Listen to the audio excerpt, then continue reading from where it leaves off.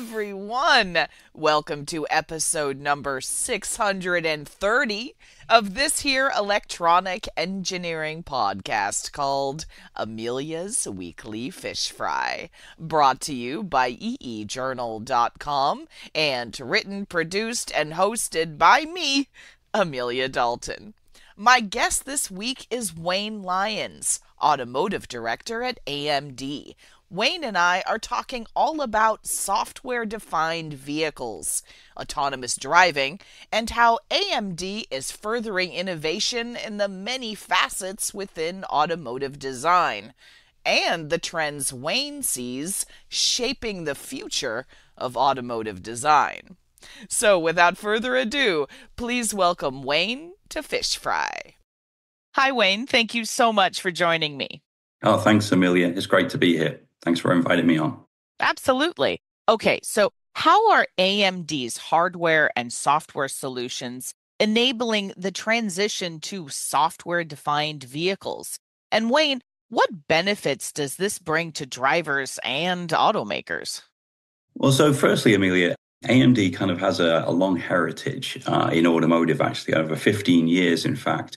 We shipped over like 300 million devices, and actually, over half of them are into safety critical ADAS systems as well. ADAS modules today, we're in forward looking camera, we're in surround view, park assist systems, advanced sensors like radar, uh, 4D imaging radar, and LiDAR as well. You know, so many different modules. But as, as the compute centralizes to realize this software defined vehicle, you know, we need the hardware to enable this software. And so our next generation platform, Versal AI Edge Series Gen 2, is actually 10 times the compute of our previous hardware. And this is what's needed really to realize the software defined vehicles. You know, it's not only it's 10 times the compute, but it's actually got up to 10 real time Cortex R52 processors as well, which is you know, really important as you start to integrate some of these discrete microcontroller functions. But we see a lot of companies, you know, actually producing higher performance platforms today to deliver, you know, more software content but you know, the difference I think in Versal AI Series Gen 2 really is this the fact that we use adaptability in the hardware as well.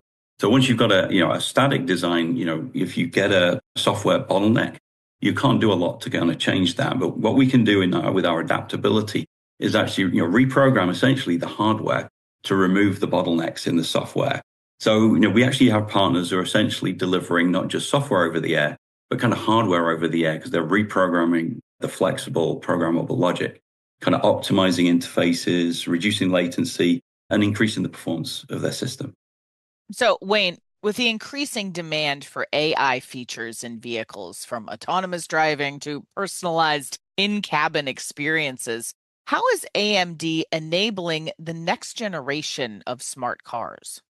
Actually, AMD has a long history in AI. Actually, our programmable logic and DSP slices, as we call them, really delivered the first generation of neural networks in the car, doing some of the original features in forward looking camera and surround view to detect objects and you know warn the driver there. You know, these were then optimized into our first kind of AI engines. And now these kind of NPUs or neural processing units, they're actually termed XDNA within AMD. And that's kind of a nod to the Xilinx heritage of this. So but it's you know being deployed now in Ryzen AI systems as well. So these kind of next generation laptops, uh, Ryzen AI is delivering you know, many different features, enabling Copilot, Microsoft Copilot, and other features within these uh, you know laptop and mobile workstation platforms. One of the cool ones actually I really like is that there's this kind of eye gaze correction. And what that really means is, you know, I can be on the uh, Zoom call with my boss and I can be actually, you know, answering a text on my phone and it still looks like I'm actually paying attention and my eyes are focused back to the camera actually there. So for me, it's one of the coolest applications of AI to date. but um, in a car, clearly that similar technology is identifying whether a driver is detra- um, distracted, you know, in a driver monitoring system. And so things like this for us, it's, it's about pervasive AI, kind of leveraging our investment in these NPUs that are used in the, the latest Ryzen AI Max devices to deliver next generation ADAS systems as well with our Versal AI Edge platforms. At CES, one example of this is we had kind of YOLO V8, which is a perception network, you know, for automotive, actually running uh, on Ryzen AI. Because moving forward, we see engineers developing on the high performance mobile workstations and then deploying on our ADAS hardware. Wayne, beyond autonomous driving, talk to me about the other areas of the vehicle being impacted by AMD's technology. How are you working with partners to integrate your solutions into other areas in the car? We're actually seeing, Amelia, there. You know, people want flexibility and connectivity in every aspect of a vehicle design um, and deployment. What that means is actually our devices, because of their flexibility, they can be deployed across the whole car, especially as you start to move to kind of zonal control and you're integrating functions in the vehicle. As I mentioned, you know, we're in several areas of ADAS today. Particularly interesting is the kind of the fast moving advanced sensor market, like these uh, 4D imaging radar and LiDAR. These sensors augment or supplement the camera to give even more information to the drive control system. And our flexibility is really enabling you know, our partners to deliver really ultra high resolution safety systems there. But not only that, you know, outside of, as I mentioned, connectivity and, and ADAS and advanced sensors, we're also in these next generation IVI solutions as well, using our high performance Ryzen processor family. They're really delivering kind of an uncompromised in cabin experience. And that's really kind of incredibly important when you consider the rollout of EVs, which is kind of allowing for a complete redesign of the in cabin experience with multiple screens. But also, you know, the focus there with an EV is that you need to kind of be either productive or entertained during the time that you're charging your vehicle as well. So, Wayne, can you talk about AMD's partnerships with other players in the industry and how these collaborations are driving innovation? Sure, we have many ecosystem partners across ADAS and IVI. At CES, we showcased a, major ADAS perception partner who are called StradVision. Their SVNet delivers 3D networks for perception. As the vehicle's going down the road on the forward looking camera, it's kind of doing very fast 3D object detection. Even with a, a mono camera, is doing 3D object detection, segmentation, and then actually also generating accurate monocular ranging. So you get this overlay of um, how far away all the cars are in terms of distance from your own vehicle as well. So it's a really cool network. Uh, we were really pleased to showcase that with StradVision at the CES show in January. In IVI, we announced Thundersoft. That was a partnership to address really this fast moving IVI market in China where, you know, there's a insatiable demand really for more and more information and screens uh, in the vehicle, especially these EVs in the future. And then also at CES, Elektrobit um, showcased the next generation digital cockpit, also based on our Ryzen V2000 platform as well. Some of our partnerships extend as well out to car makers like Subaru. Subaru was actually on stage with us uh, at the launch of our Versal AI Edge Series Gen 2 announcement. And uh, you know, they were actually an- announcing the adoption of that platform for their next generation ADAS solutions as well. And so we're working you know, very closely with uh, automotive partners like that. And finally, um, we have a, a, kind of a strong ecosystem of partners like um, Xylon. Companies like Xylon can actually optimize programmable logic and really remove the need for car makers to design all of this element uh, internally. Fantastic. Now, Wayne, of course, we should also talk about safety, which is paramount in the automotive industry. So, how are AMD's technologies contributing to enhanced safety features in vehicles? So, Amelia, uh, kind of our safety heritage goes all the way back to our 28 and 16 nanometer families, actually. Our 16 nanometer families achieved ASIL C Charlie, but we also then delivered software test libraries to enable the application cores, which were the Cortex A53s, to achieve ASIL B for Bravo as well. And as part of that effort, actually, we just we didn't just stop there. We actually reached out and actually safety certified the ARM trusted firmware suite as well, because that's part of the software that would need to run in this platform. And that would also need to, as an element, would also need to be safety certified as well. So, you know, not just our own technology, um, we're also looking into how open software can be um, certified moving forward, which is going to be really important in the future. Our latest Versal families, they, they kind of deliver ASIL D for Delta through a combination of kind of real time cores and application processors as well for these cores, really, you know, they're offering kind of groundbreaking features, not only kind of lockstepping the application processor, but actually delivering memory controller capabilities like redundant transaction, which is automatically creating these redundant transactions to enhance the safety of, say, critical code segments. So not just within the processing element, but also all the way out through the software as well. And then not only is it, you know, we're, kind of focusing on safety, you know, uh, on our latest devices as well. We're deploying security features to achieve ISO 21434 compliance as well for, for security. So, Wayne, how is AMD helping automakers balance the increasing demand for advanced compute power with energy efficiency in their vehicles? When you add this additional compute complexity, you know, it's no good if your, your battery suddenly runs dry. So, like other leading technology companies, kind of we follow a very aggressive drive to the leading edge kind of automotive qualified processes. And for us, it's a balance between the leading edge technology and the maturity to make sure that it's highly reliable, high quality, and also can be safety certified as well.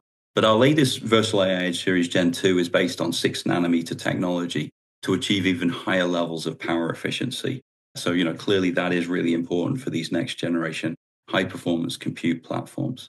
The other thing, though, is that at the same time, our adaptable technology also helps these EVs in the motor control and battery control systems take advantage of new advances like silicon carbide. This kind of delivers much faster switching speeds and much tighter control loops as well. So this all helps you to squeeze even more performance out of that battery there. In fact, our adaptable devices are even used in Formula E batteries, where again, battery performance is essential. On a given day, it can depend on the state of charge, the open circuit voltage, the, you know, the ambient temperatures and aging and everything. So what they do, they run multiple models in parallel. As you go down the track, you, you can then identify which one was the closest to the uh, performance of the battery. So then they pick the best one to predict the battery performance kind of later on in the race. And, you know, we see this kind of technology likely to come into mainstream vehicles in the future as well. All right. So, Wayne, let's talk about the future. Looking ahead, what are some of the key trends that you're seeing shaping the future of the automotive industry and how is AMD investing in research and development to stay ahead of the curve? So, obviously, the temptation here is just to talk straightforward about AI. I'll come to that in a moment. But actually, outside of AI, consolidating MCUs really is, is the key to the software defined vehicle. And I think, you know, car makers are going to want to realize this uh, as much as possible to be able to enable this software defined vehicle vision in the future. But at the same time, you know, day to day, they're dealing with these challenges within their industry, like varying rates of EV adoption in different regions. Our platforms kind of combine real time cores, application cores, connectivity, and flexibility. We not only can aggregate a lot of ADAS sensors, but also we can adapt to legacy interfaces as well, which is going to be really important because Again, no one has a crystal ball and knows how much the EV market has become pervasive in the next five to 10 years. Clearly, it's going to grow, but we don't know at what level. And so, what this actually allows, you know, car makers to do is they can adapt, to, you know, and, and fit onto these simplified zonal EV architectures, but also they can map to legacy ICE architectures as well, because we don't know how long you know, some of these are going to be around in, in mainstream vehicles, but we're seeing the adoption rate change from, from region to region. And then, you know, in terms of AI, clearly we need higher performance and better energy efficiency. We, we were talking about that a moment ago. So we're investing a lot uh, and actually deploying what are called micro data types. So even our latest ADAS devices, this Versal AI Edge Series Gen 2, actually has support for these micro data types. And, and what it does is kind of compared to a typical data type like INT8 or FP16, it uses things like MX6 and MX9 this allows them to kind of double their performance or half the power in some cases by switching to these efficient data types.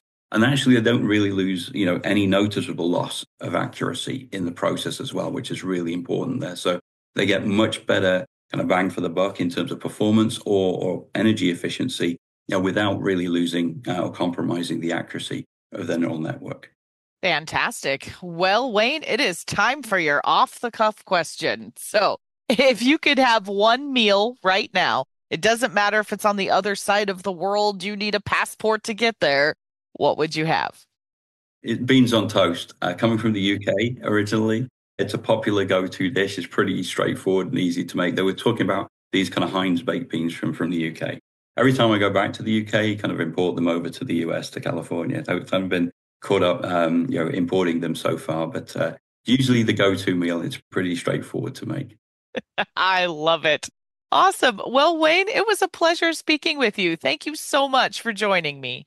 Uh, thanks again, Amelia. Appreciate it. Well, folks, that's all I've got for this week's Fish Fry. If you'd like even more information about AMD Automotive Solutions, I've included a slew of links below the player on this week's Fish Frying page on eejournal.com and in the description for this week's YouTube episode as well.